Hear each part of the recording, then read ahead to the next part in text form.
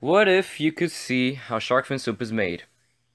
Watch how sharks are getting their fins cut off just so you, just so you can have soup. Is that something you would like to experience? Every year we kill more than 100 million sharks, but sharks only kill 5 humans each year. Is it really worth killing these animals even though they do not harm us as much as we do?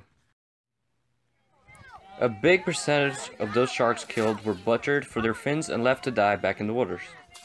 Thanks to this, now one of four shark species is now endangered.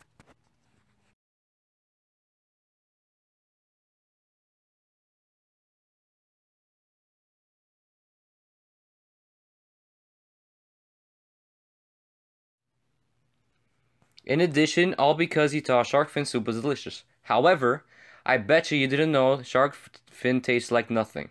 What gives it taste is whatever you the chef adds. Sharks have been killed for hundreds of years, but now they are facing danger of extinction.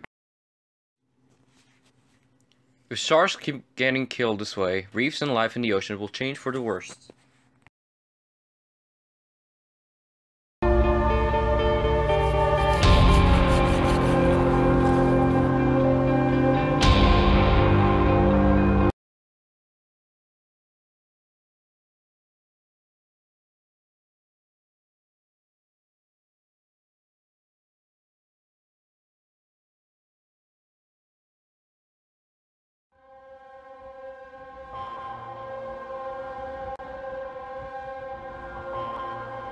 Want to change?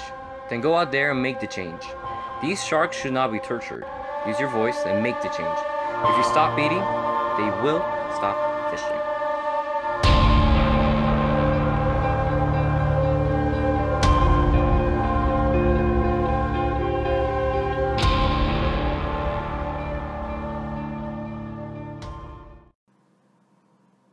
Is Jose. I have a profound love towards animals, but sharks I adore the most.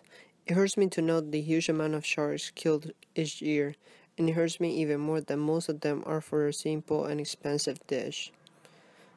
I urge you to stop eating this food. When you eat shark fin soup, you pay more than the price.